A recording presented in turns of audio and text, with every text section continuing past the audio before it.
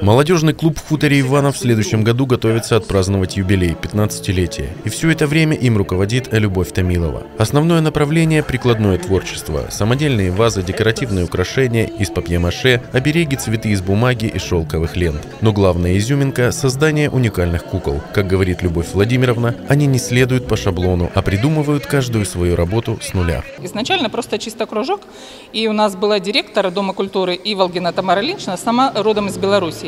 И она привезла маленькую-маленькую куколку, совершенно крошечную. А мы потом начали это дело развивать. И вот э, именно на куклах, на куклах мы нас э, стали узнавать везде. Мы везде их вывозили на все выставки. В Атамань сейчас все время уезжаем.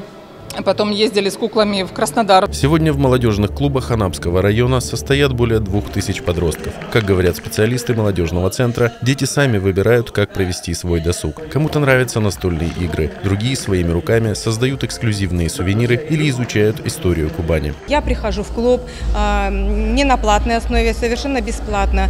Э, я сегодня прихожу, мне, у меня есть настроение поиграть в настольный теннис, поиграть э, в какие-то настольные игры, э, либо побеседовать, либо просто встретиться с друзьями. Естественно, после школы. У нас клубы работают в основном э, вечернее время. С ними работает специалист клуба, который организует и проводит различные мероприятия, круглые столы, конкурсы, соревнования, беседы. То есть, как говорится, это как внутриклубное мероприятие, масса мероприятий они проводят. То есть без дела нет еще дня, чтобы они как бы не, не проводили ничего. Фестиваль клубов – это подведение итогов их работы. Тема этого года посвящена Дню народного единства. Каждый клуб подготовил тематический номер. Задача максимально наглядно продемонстрировать культуру и национальный колорит страны, которая досталась им по жеребьевке. Лучших здесь не выбирали. Победителями стали все участники, ведь главный слоган фестиваля – «В единстве сила».